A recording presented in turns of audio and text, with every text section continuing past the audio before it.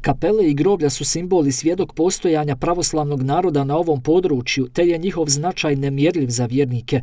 U davna vremena u mjestima koja su bila udaljena više od 10 km od sabornog centralnog hrama, u kapelama su vjernici obavljali i svete tajne krštenja, te čak sklapali i brakove u takvim svetinjama.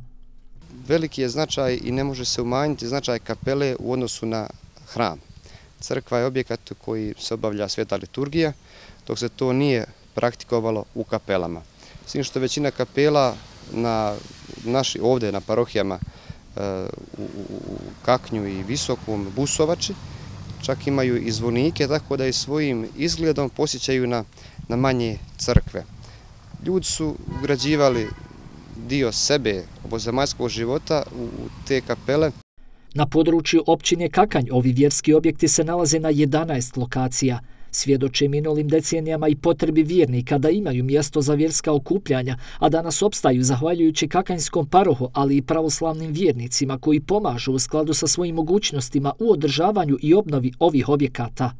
Kompletno održavanje kapela povjereno je i, i ide na, na teret e, parohijana većinom izbjeglih koji e, se staraju i osiguraju financijska sredstva da se to uradi kako treba.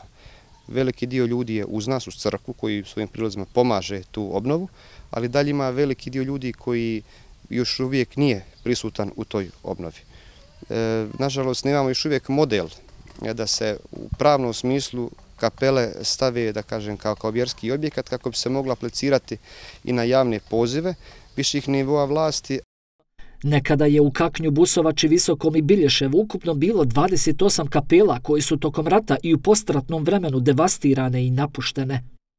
Od 28 kapela koliko je bilo nekada na ovim prostorima, govorim za Kakanj, Busovaču, Bilješevo i područje grada Visokog, odnosno Golo Brdo i Zimču, eh, 20 je srušeno, još 7 E, treba da se obnovi, od toga jedna se ne može, ne može se izvršiti obnova, jer je izvršeno e, ekspropriacija e, kapele i groblja Paljke.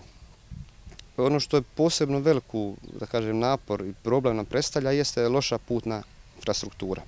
Ako uzmemo recimo Ponijevo, koje je iznad Subotinja zaista na nepristupačnom mjestu, tako da je gore bio podvig obnoviti, sagraditi novu kapelu, U prošlosti kapele su bile mjesto susreta velikog broja vjernika koji su dolazili u ove vjerske objekte kako bi obavili molitvu, ali i proveli ugodne trenutke sa svojom rodbinom i prijateljima.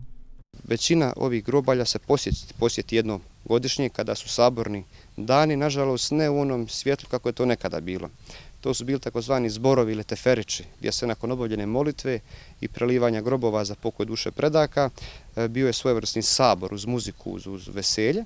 Danas to većinom nije na taj način ne obilježava se, ali dalje ima ljudi koji su zadržali tu tradiciju pa se može i poigrati kolo i proveseliti, pored toga što više, nažalost, od sela nema ništa i što je možda samo mali dio grobova ostao vidljiv.